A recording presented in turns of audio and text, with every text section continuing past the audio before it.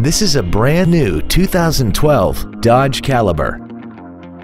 This compact has a 5-speed manual transmission and an inline 4-cylinder engine. Features include a low tire pressure indicator, traction control and stability control systems, cruise control, a security system, an anti-lock braking system, a passenger side airbag, rear seat child-proof door locks, air conditioning, a folding second row, and satellite radio.